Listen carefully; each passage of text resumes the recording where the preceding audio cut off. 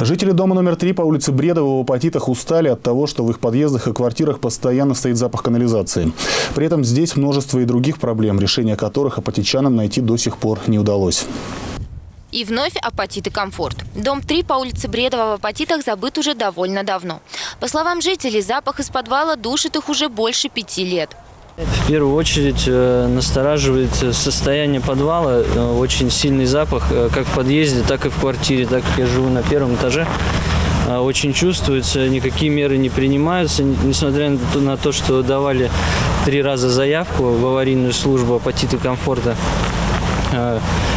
Нас уверяли, что заявка принята, но никаких мер не принято. До сих пор запах, и невозможно в доме находиться. Я там сплю, ем, это очень неприятно.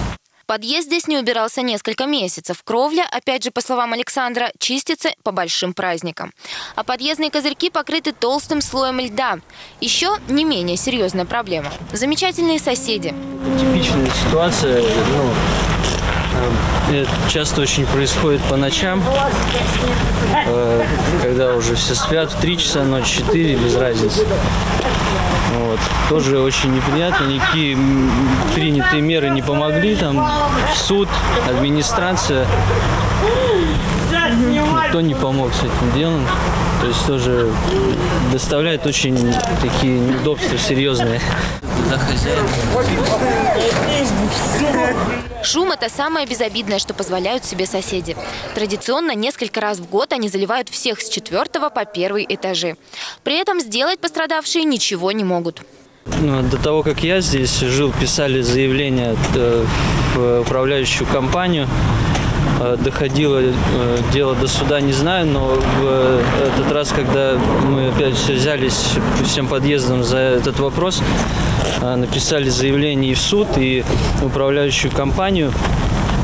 Дело занималась администрация, и ну, почему-то это все опять заглохло. То есть Э, не знаю, на каком состоянии, в каком состоянии было дело, но в итоге как бы опять тишина и все продолжается в том же духе, что и продолжалось. Взять с неблагополучных соседей нечего. Электроэнергию у них отключили за огромные долги. Канализация не работает. Они не работают.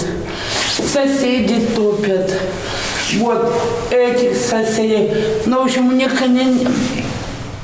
канализация не работает. Как начинает топить, там вонище невыносимо. А вот жительница квартиры, представившаяся нам Ириной, говорит, что у них все работает и никому они не мешают. Ну, мы сейчас не топим, потому что у нас все сделано. Сантехника вся сделана, сейчас мы не топим никого. Все работает, все? Да. Угу. А, по поводу шума, то, что шумите? Ну, по, по поводу шума все шумят. А ну, ночью? Не только мы одни. К нам никто не шумит, никто не стучит. Никто не шумит. Тогда то, что мы видели, это обман зрения и слуха. Это уже очень накипело, и хочется справиться с этим. И я плачу деньги за обслуживание и все, но никаких вообще в итоге нету продвижений, даже уборка в подъезде элементарно не происходит вообще.